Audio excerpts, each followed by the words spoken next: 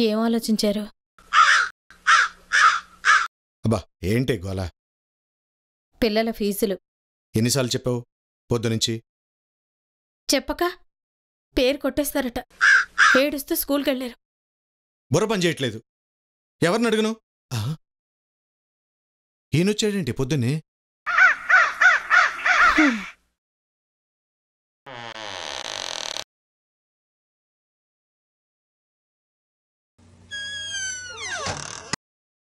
ఈ టైంలో వచ్చారంటే మామూలేగా పొలం పెట్టుబడులకి డబ్బులు అడగడానికి.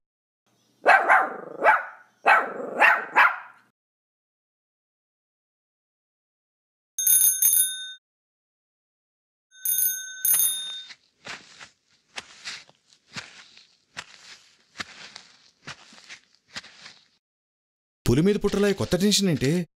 ఇప్పుడు ఏం చేయాలి? తెగేసి చెప్పేసేయండి. మేమే బోల్డన్ ఇబ్బందుల్లో ఉన్నాము అని. అయ్యో మా నాన్న పాప ముసలాయనా అని మెత్తబడ్డారో? కరువుతో తలగొక్కున్నట్టే. ష్. వింటే బాధపడతాడే?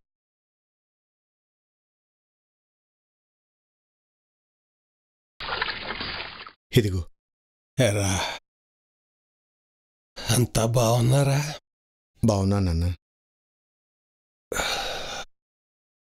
ఇటీ నాన్న. పర్లేదు.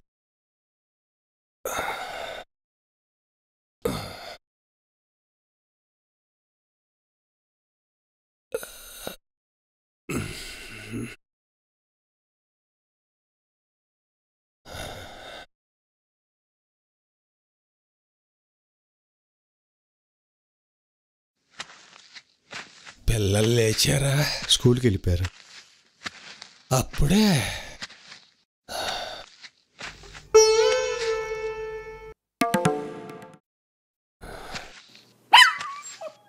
అమ్మ ఎలా ఉంది? మామూలే. కేళ్ళ నొప్పులు. బావున్నారా మావయ్య? ఆ, అయ్యో పైన కూర్చోండి నాన్న. అక్కర్లేదు. హాయిగా ఉంది ఇక్కడ. మావయ్య? ఆ, అత్తయ్యని తీసుకురాలేదు? కుదరలేదమ్మా. పని మీద వచ్చాను.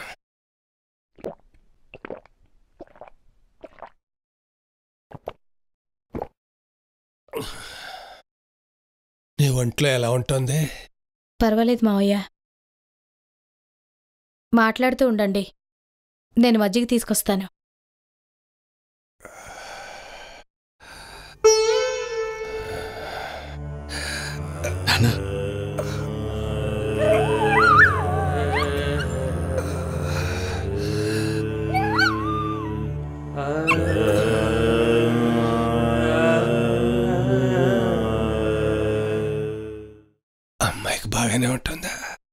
గర్భసంచి తీసేయాలన్నారు.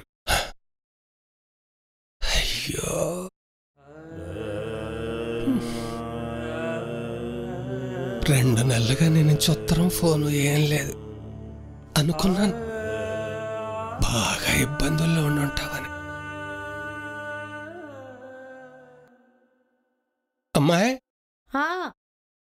చాటోసారి పట్టుకురామ్మా. ఆ, ఆ.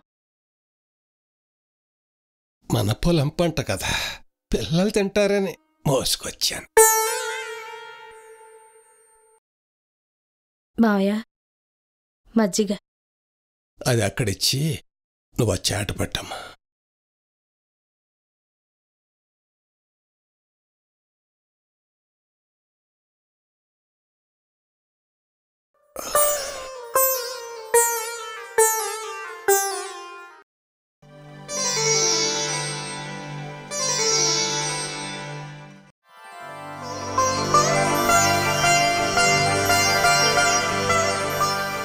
ఈసారి పంట దిగుబడి బాగుందిరా. ఇరవై వేలు మిగిలే ఉంచు.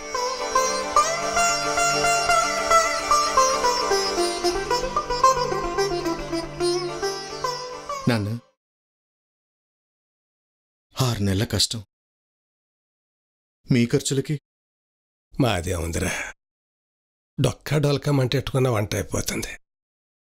నీకు బోళ్ళు ఖర్చులు ఉన్నాయి ఉండని. మజ్జిగటి